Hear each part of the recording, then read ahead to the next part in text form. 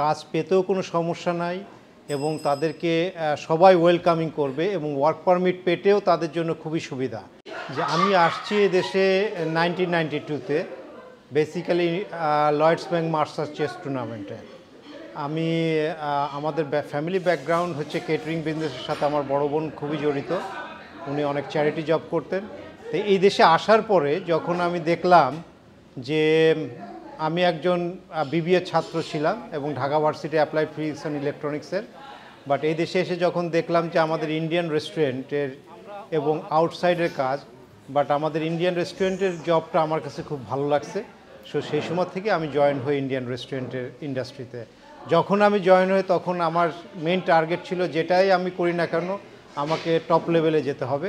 So আলহামদুলিল্লাহ ninety সিক্সে আমি প্রথম ব্যবসা করি। এবং ninety seven ninety eight ninety nine two থাউজেন্ডের ভিতরে আমাকে mainstream in the UK আমি নাইনটি এইটে international award winner Indian chef winning করি। আমি ইকুয়াল থার্ড হয়েছিলাম। আর এরপরে আমি অনেক ইভেন্ট করছি। আমি কেটারিং করছি হাউস অফ কমন্সে মেনি টাইমসে পপস্টার সেলিব্রিটিকে আমি ক্রিকেট ওয়ার্ল্ড কাপে আমি ফুড প্রোভাইড করছি। আমি নেটো ফোর্সে আমি ফুড প্রোভাইড করছি কানাডাতে ফ্রম জার্জি উইচ ইজ আমি অনলি বাংলাদেশি বাংলাদেশি পার্সন হিসেবে। এটা মনে হয় ইউকেতে আর কেউ করেনি, আমার জানা মতে। এবং মেইন স্ট্রিম নিউজ পেপার ইউকের national Sunday Times Mail on Sunday Independent everywhere Sky BBC News twenty four international US media Canadian media Australian and European মিডিয়াও আমাকে ফিচার করছে। সো এই যে ধরেন আপনি শেফ হিসেবে কত বছর হলো আপনার এক্সপিরিয়েন্স আমার এই থার্টি টু ইয়ার্স আপনি মেইনলি কি ইন্ডিয়ান শেফ আমি ইন্ডিয়ান শেফ বাট আমি প্রথম আমার fusion food Indian and Italian fusion food restaurant করি ইন গার্নজি চ্যানেল আইল্যান্ডে আর লন্ডনে এসে যেটা দেখছি যে ইয়াং জেনারেশনের চয়েস একটা। আমি আগে থাকতাম আমার মেইন বেস ছিল জার্সি ইন চ্যানেল আইল্যান্ড সেখান থেকে আমার বাচ্চাদের এডুকেশনের জন্য আমি টর্কি ডেভনে মুভ করি। সেখান থেকে আমি লন্ডনে দুই হাজার বিশ সালে আমি মুভ করছি লন্ডনে।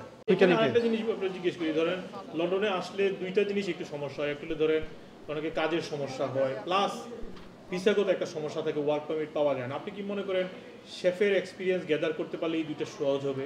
অবশ্যই, শেফের এক্সপিরিয়েন্সটা ওয়ার্ল্ড ওয়াইড ওপেন জব আমি, আমার তো দীর্ঘ নাইনটি টু থেকে আমি এই দেশে আসি এবং এই দেশে রেস্টুরেন্টের মালিক এবং নিজের শেফ একজন। তা একজন শেফ হিসেবে যার এক্সপিরিয়েন্স আছে, তার এখানে লন্ডনে এসে কাজ পেতেও কোনো সমস্যা নাই।